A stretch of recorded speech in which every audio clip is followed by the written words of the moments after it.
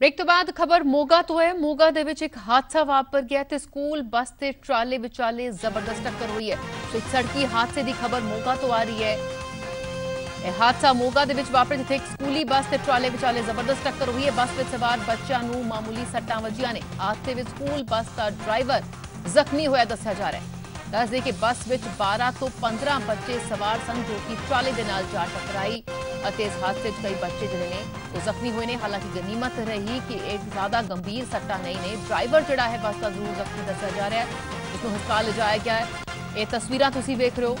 ਜੋ school bus ਹੈ, ਜੋ ਟਰਾਲੇ ਦੇ ਨਾਲ ਟਕਰਾਈ ਹੈ, ਮੋਗਾ ਦੇ ਵਿੱਚ ਇਹ ਹਾਦਸਾ ਵਾਪਰਿਆ ਸਕੂਲ ਬੱਸ ਤੇ ਟਰਾਲੇ ਵਿਚਾਲੇ ਇਹ ਜ਼ਬਰਦਸਤ ਟੱਕਰ ਹੋਈ ਹੈ। ਹਾਦਸੇ ਵਿੱਚ ਸਕੂਲ ਬੱਸ ਦਾ ਡਰਾਈਵਰ ਜ਼ਖਮੀ ਹੋਇਆ ਬੱਸ ਵਿੱਚ 12 ਤੋਂ 15 ਬੱਚੇ ਸਵਾਰ ਦੱਸੇ ਜਾ ਰਹੇ ਨੇ, ਜਿਨ੍ਹਾਂ ਨੂੰ ਮਾਮੂਲੀ ਸੱਟਾਂ ਲੱਗੀਆਂ ਨੇ। ਫਿਲਹਾਲ ਹੁਣ ਜਾਂਚ ਜਿਹੜੀ ਹੈ, ਮਾਮਲੇ ਦੀ ਕਾਰਨਾਂ ਦੀ ਕੀਤੀ ਜਾ ਰਹੀ ਹੈ ਕਿ ਕਿਸ ਤਰ੍ਹਾਂ ਦੇ ਨਾਲ ਔਰ ਕਿਸ ਦੀ ਗਲਤੀ ਰਹੀ ਹੈ।